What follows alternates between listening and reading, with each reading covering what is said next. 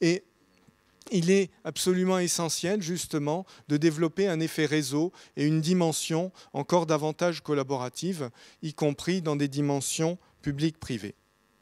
Troisième, euh, troisième, élément que je voudrais souligner, c'est qu'on est vraiment au cœur, et ça, ça, ne vous a pas échappé, mais je tiens à le mentionner, on est au cœur de nombreuses mutations qui remettent en cause bah, à la fois nos modèles sociaux, On voit très bien depuis quelques années les évolutions en matière, de, en matière de richesse. On se trouve avec des pays émergents, on pourrait même dire émergés, qui ont une grande richesse, notamment en matière de devises, mais des populations qui restent individuellement encore plus pauvres que dans nos pays, avec de l'autre côté des États endettés notamment dans, l'Union européenne, mais pas seulement, mais qui, eux, ont des populations qui, individuellement, ont encore une richesse supérieure à ce qu'il y a dans les pays émergents.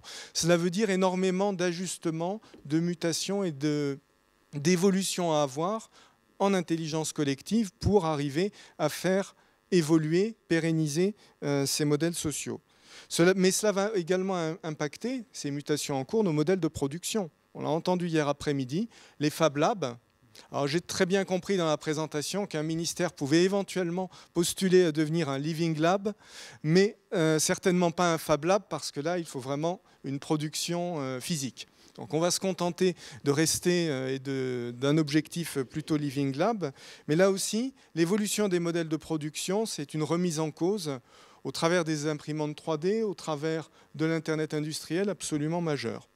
Ça remet en cause nos modèles d'organisation.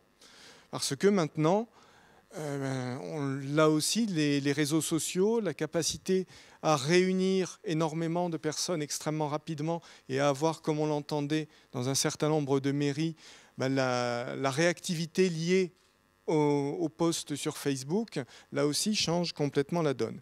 Puis enfin, ça c'est un aspect peut-être qui vous est moins euh, familier, mais qui va également être impacté, c'est le volet fiscalité.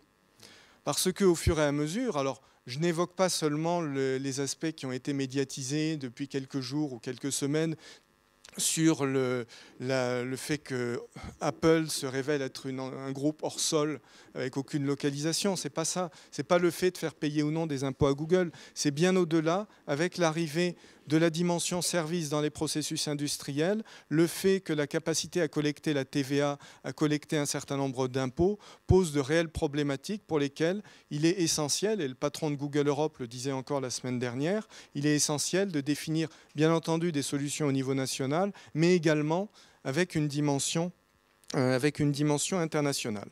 Alors oui, effectivement, les modèles explicatifs qu'il y avait encore euh, hier, qu'il y a encore aujourd'hui, eh ben, ils ne sont pas forcément adaptés au monde de demain que vous êtes en train tous euh, de bâtir ici.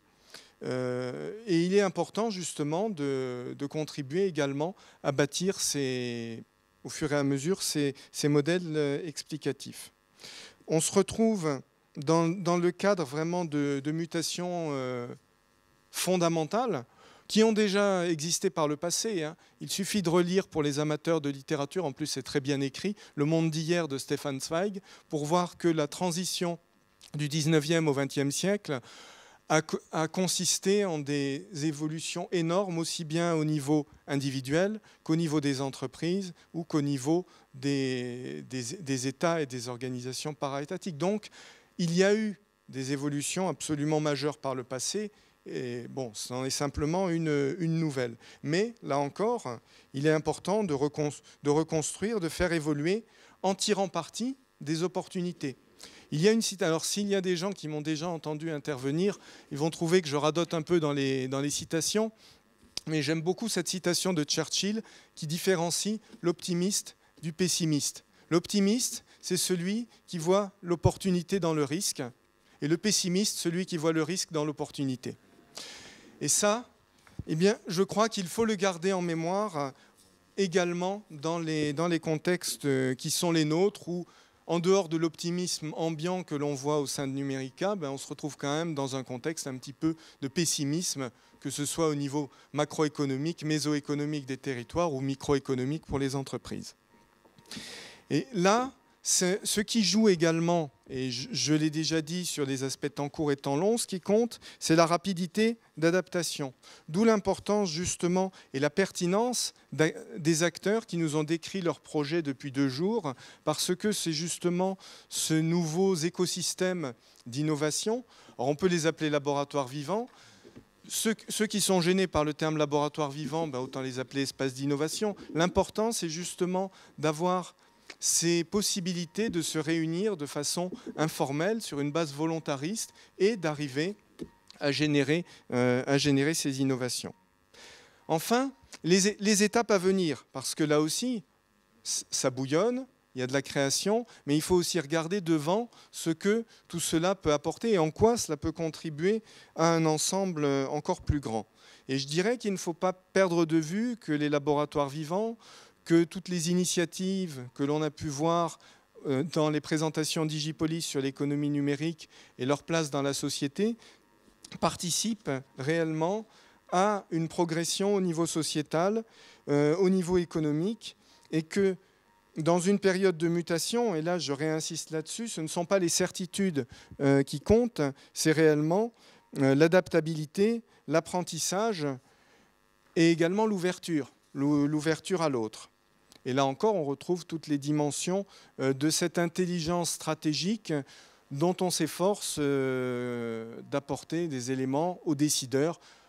Alors pour ce qui nous concerne, bien entendu, ce sont les cabinets ministériels et les directions générales, mais on est euh, dans cette même logique, et je vous le redis, on est quasiment en cours de labellisation au niveau de la, de la Fondation Territoire de demain dans cette démarche.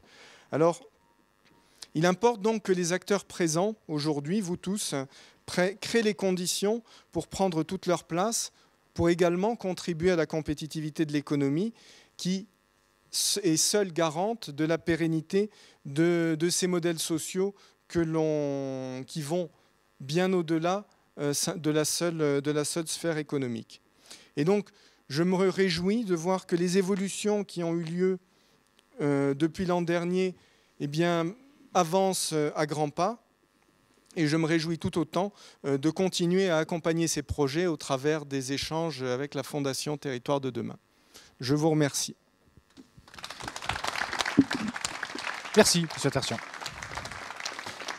Merci à vous. Euh, bonne fin de journée et bon retour. Merci.